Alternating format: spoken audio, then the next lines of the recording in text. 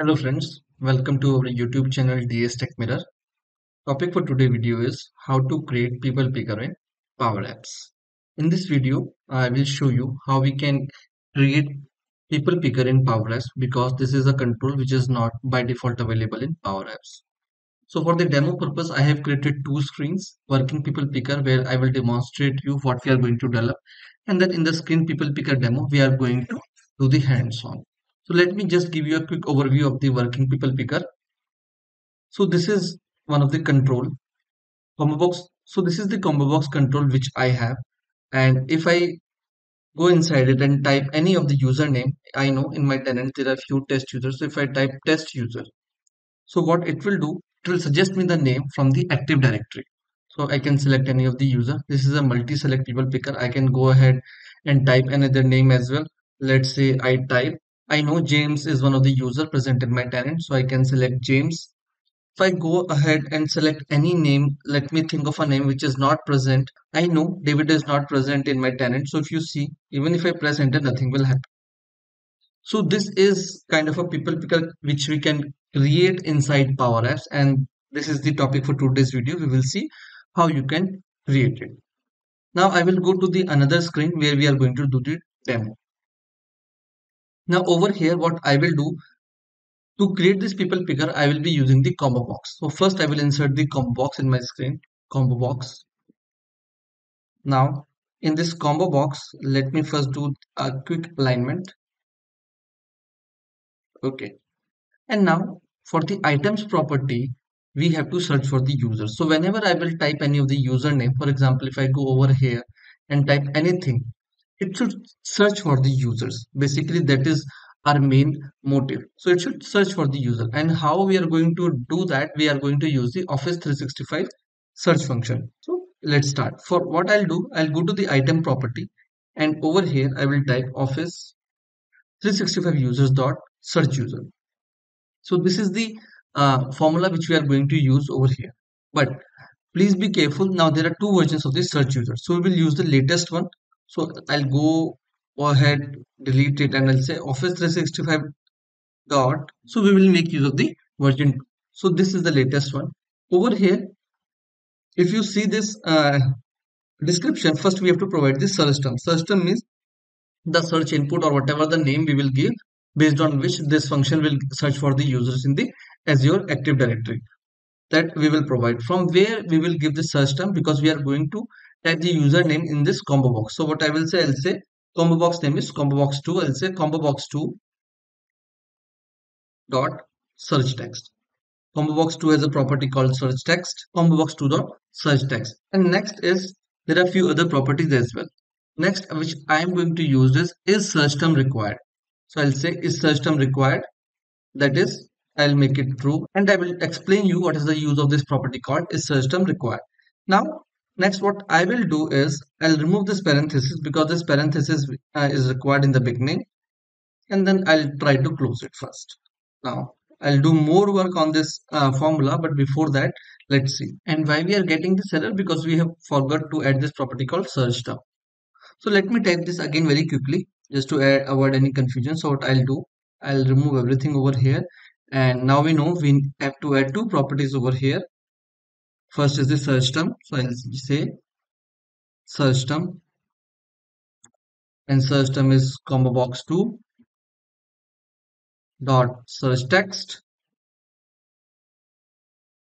And then I need is search term required? I will say false. Search term is not required. And why? That I will explain you. And the moment I'll close it. You will see what it is returning me. It is returning me a record. Over here there are two columns. First is the value and value is the table. So i will use this uh, row called value. And from this i will get the table. Now let's see. I'll play this app. I'll go ahead and type try to type anything over here test user. And i'm not able to type anything. Why? Before uh, we can start using this combo box we have to enable certain properties after this formula. This formula is pretty simple.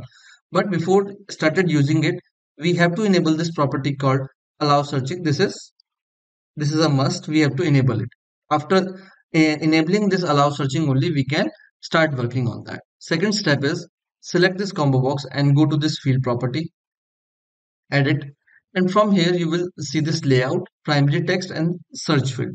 Now my primary text by default is city but what i want my primary text i want is display name. I wanted to display name over here and on which field it will do the search. It's right now city is selected but it should do the search on display name. As per your requirement you can select a different field as well because there are different fields like department display name given name mail. You will find all these fields in the table uh, which we have selected over here. Now uh, what I will do now primary text is display name. What if I wanted to uh, showcase two properties? For for that I can choose double from here and in the secondary text what I will do I will select the mail. So now I have primary text display name secondary text mail search field display name.